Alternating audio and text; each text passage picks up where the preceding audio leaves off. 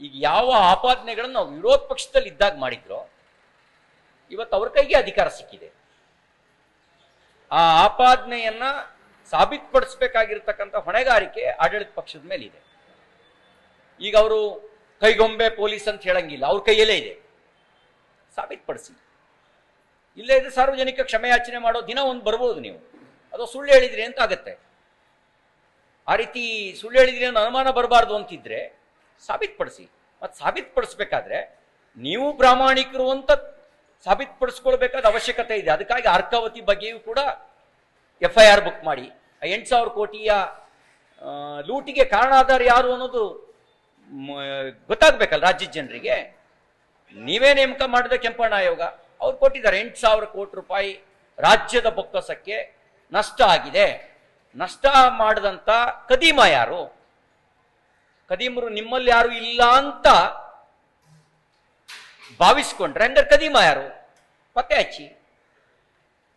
ಈಗೇನಂದ್ರೆ ಈಗೇನಂದ್ರೆ ಈಗೇನಂದ್ರೆ ಕಾಂಗ್ರೆಸ್ನಲ್ಲಿ ಆ ಅರ್ಕ- ಅರ್ಕಾವತಿಯ ಕದೀಮರು ಯಾರೂ ಇಲ್ಲ ಅಂತ ಅವರು ಹೇಳೋದಾದ್ರೆ, ಹಂಗಾರೆ ಕದೀಮ ಯಾರೋ ಇರಬೇಕಲ್ಲ. ಆ ಕದೀಮನ ಮೇಲೆ ಆಕ್ಷನ್ ಮಾಡಿ. ಎಂಟು ಸಾವಿರ ಕೋಟಿ ರಾಜ್ಯದ ಬಕ್ಸ, ಬೊಕ್ಕಸಕ್ಕೆ ತುಂಬಿಸಿ. ಸೋಲಾರ್ ಹಗರಣ ಎಚ್ ಡಿ ಕುಮಾರಸ್ವಾಮಿ ಅವರು ಪ್ರಸ್ತಾಪ ಮಾಡಿದ್ದಾರೆ. ಅಂದ್ರೆ ಮೂರುವರೆ ರೂಪಾಯಿ ಫರ್ ಯೂನಿಟ್ ಮಾರ್ಕೆಟ್ನಲ್ಲಿ ಸಿಕ್ತಿದ್ದಾಗ ಒಂಬತ್ತು ರೂಪಾಯಿಗೆ ಖರೀದಿ ಮಾಡಿದ್ದಾರೆ. ಅದರಿಂದಾಗಿ ವಿದ್ಯುತ್ ಬೆಲೆ ಇಷ್ಟು ದುಬಾರಿಯಾಗಿದೆ ಅನ್ನುವಂಥ ಒಂದು ಗಂಭೀರವಾದ ಆರೋಪವನ್ನು ಮಾಡಿದ್ದಾರೆ. ಹಂಗಿದ್ರೆ ಮೂರುವರೆ ರೂಪಾಯಿಗೆ ಮಾರ್ಕೆಟಲ್ಲಿ ಸಿಕ್ತಿದ್ದಾಗ ಒಂಬತ್ತು ರೂಪಾಯಿ ಖರೀದಿ ಮಾಡಿರೋದು ಸತ್ಯನಾ?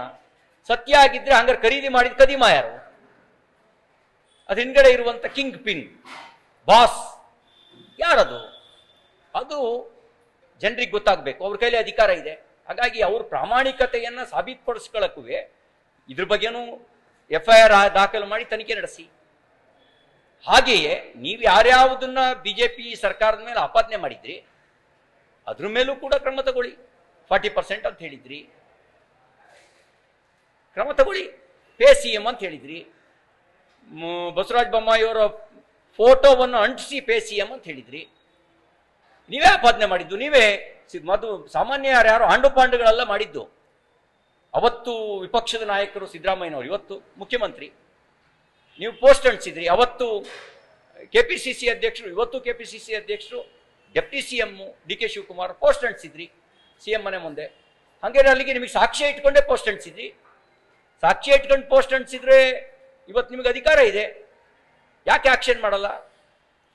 ಮಾಡಿ ಇಲ್ಲದೇ ಇದ್ರೆ ನೀವು ರಾಜಕೀಯ ದುರುದ್ದೇಶಕ್ಕಾಗಿ ರಾಜ್ಯದ ಮುಖ್ಯಮಂತ್ರಿಯನ್ನ ಅಪಮಾನಿಸುವ ಕೆಲಸವನ್ನ ಮಾಡಿದ್ರಿ ಅಂತ ನನಗೆ ಅನಿಸುತ್ತೆ. ರಾಜ್ಯದ ಮುಖ್ಯಮಂತ್ರಿನ ಅಪಮಾನಿಸಿದ್ರಿ, ರಾಜ್ಯವನ್ನು ಅಪಮಾನಿಸಿದ್ರಿ. ನಿಮ್ಮ ರಾಜಕೀಯ ಲಾಭ ಬೇ ಬೇಯಿಸ್ಕೊಳ್ಳೋಕ್ಕೆ ಸುಳ್ಳು ಆಪಾದನೆ ಮಾಡಿದ್ರಿ.